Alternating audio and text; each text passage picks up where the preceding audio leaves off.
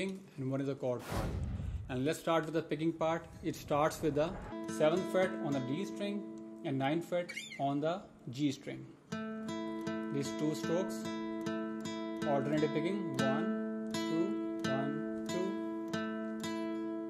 You can also do like this, downward. From this point, it goes to your 6th fret on the D string but the G string note stays the same. It stays the same on the on the whole riff. So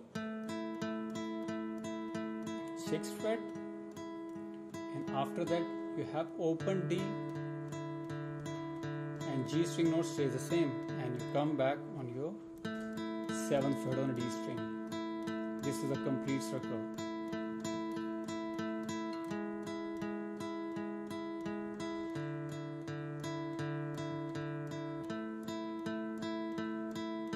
real slow.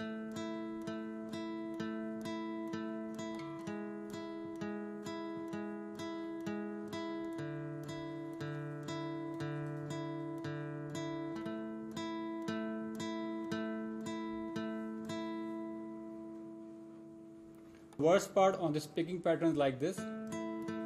I do it all, everything on our own. This is a complete circle. We don't need anything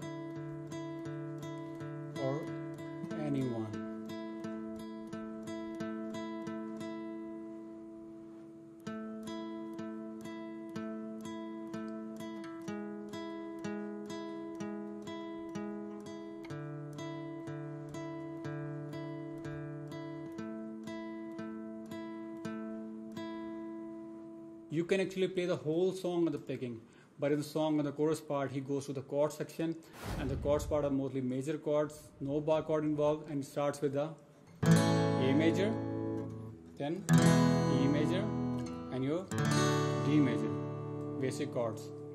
It starts with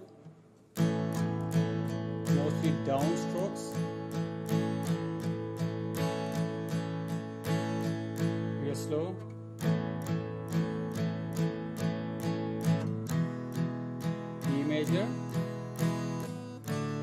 D major, and you back to A major. Okay, here,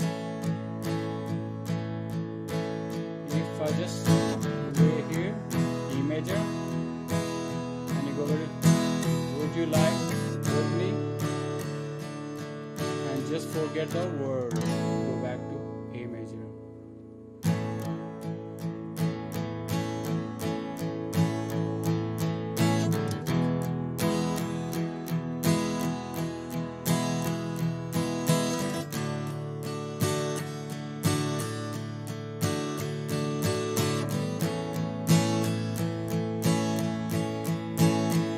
right after that you come for your picking part which is the starting point of the verse.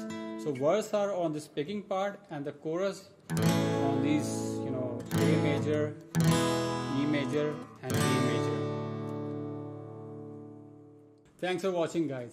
If you like this video and you don't want to miss any future videos from channel then you may consider subscribing to this channel. I mean really. I'll see you next time.